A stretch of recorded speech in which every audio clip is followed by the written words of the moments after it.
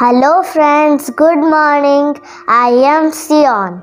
You know, today is the New Year Day, and I wish you a very, very happy New Year. Today, I have come with a scripture portion.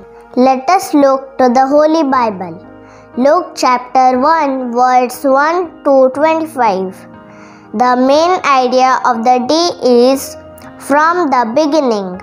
Inasmuch as many have undertaken to compile a narrative of the things that have been accomplished among us, just as those who from beginning were eyewitnesses and ministers of the word have delivered them to us.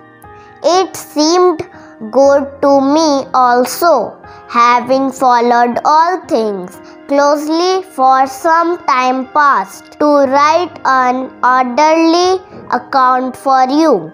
Most excellent Theophilus, that you may have certainty concerning the things you have been taught. In the days of Herod, king of Judea, there was a priest named Zechariah of the division of Abijah, and he had a wife from the daughters of Aaron and her name was Elizabeth. Let's understand the word of God. Around 2000 years ago, Jesus came to this earth as a human. A lot of people met Jesus and wrote about their meetings with him. One of those people was Luke. He decided to write to Theophilus to clearly tell him about who Jesus was. Theophilus was just starting to get to know Jesus.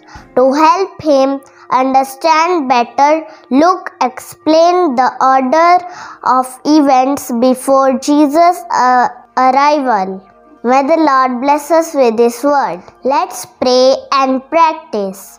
Dear God, thank you for your word. Please help us to understand your word properly. In Jesus' name, Amen.